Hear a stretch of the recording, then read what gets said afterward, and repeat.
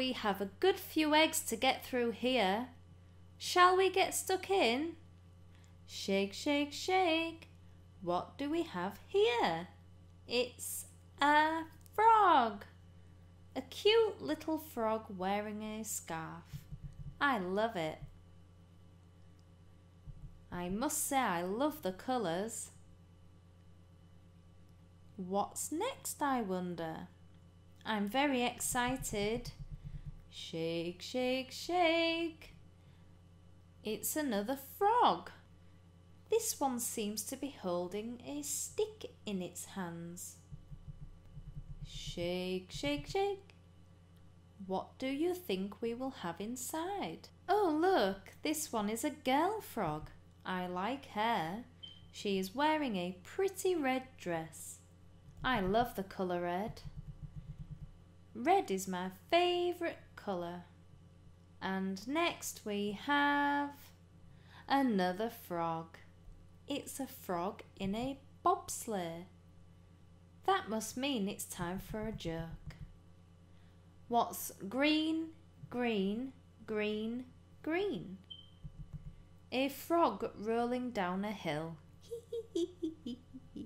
Let's see what we have next. It is a frog. It's a frog in a hat. But it seems to be some kind of lumberjack frog. Let's see what's next. It's a frog in ice skates. I hope he does not break a leg. Frogs are always unhappy if they break a leg. Do you like this one? I do. I like these little froggies. I wonder what frog we will have next. Peekaboo! What do we have here? It looks like a pair of skiing sticks. Oh, which one will be next? This little frog seems to be throwing a snowball. I do like his hat. I wonder why his eyes closed. And now it's time for the last egg to open.